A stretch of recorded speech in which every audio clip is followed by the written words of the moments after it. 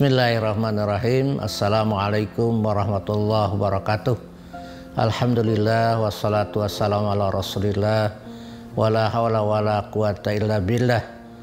Wa qala Allah Ta'ala ya ayyuhalladzina amanu kutiba alaikumusiyam kama kutiba alal ladzina min qablikum la'allakum tattaqun ayyaman ma'dudat.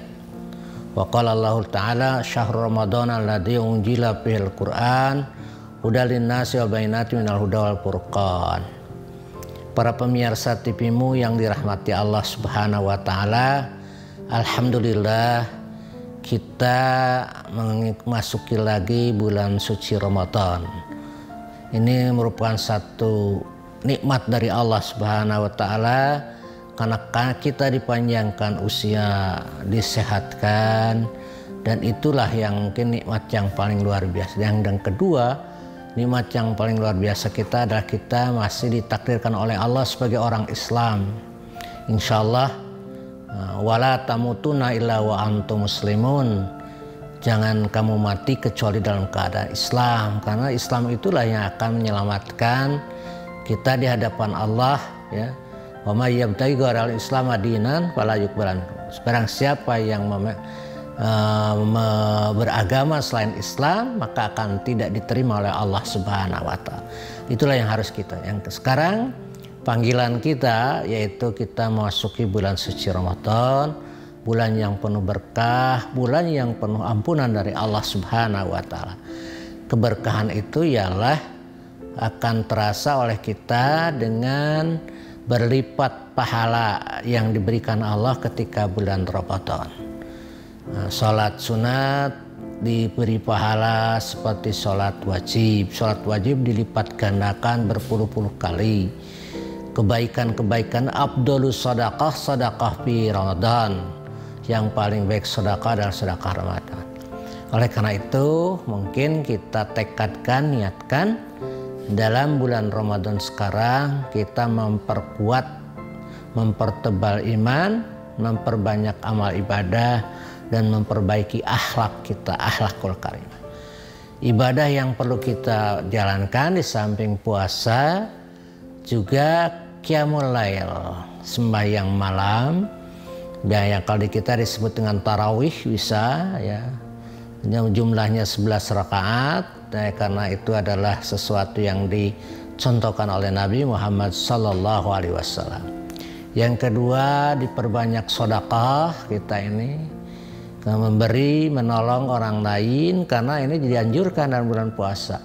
Rasulullah SAW di bulan Ramadan ini seperti angin, yaitu sangat uh, mudah sekali memberikan bantuan kepada orang lain. Ya. Sangat uh, pemurah sekali di bulan, lebih melebihi um, pemurahnya di bulan-bulan yang lain yaitu tadi Abdul sedekah sedekah pi Ramadan. Yang paling baik sedekah adalah sedekah di bulan Ramadan. Yang keempat adalah membaca Al-Quran. Ya, diperbanyak lagi membaca Al-Quran karena syahrul Ramadan alladzi unjila fil Quran di bulan Ramadan ini ialah diturunkannya Al-Quran. Nah, kata para mufasir, Nah, membaca Al-Quran itu seperti yang dicontohkan oleh Jibril ketika uh, mengontrol bacaannya Nabi Muhammad SAW setiap di bulan Ramadan. Dan Nabi memperbanyak uh, apa uh, ya membaca Al-Quran. Dan yang kelima di samping membaca Al-Quran juga umroh ya kalau yang punya uang. Nah, umroh bulan Ramadan itu besar juga pahalanya. Tetapi uh, kalau memang kita tidak mampu untuk umroh, kita perhatikan tetangga-tetangga yang dekat kita, barangkali mereka memerlukan pertolongan kita. Dan itu dilipat gandakan. Nah, di samping kita memperbaiki sholat kita, sholat wajib kita berjamaah di masjid setiap waktu ditambah dengan sholat rawatib. Nah, Qobla eh, dan Ba'da Qobla subuh Qobla zuhur Ba'da zuhur Ba'da maghrib dan Ba'da isya ya. dan lalu kita juga memperbanyak zikir pada Allah karena itu dianjurkan di bulan Ramadan. Saya kira inilah yang perlu kita perhatikan. Insya Allah di bulan Ramadan ini kita akan mengalami transformasi jiwa kita ya yang tadinya di bulan-bulan biasa kita menuruti keinginan jasmani, rohani kita agak sedikit ditekan.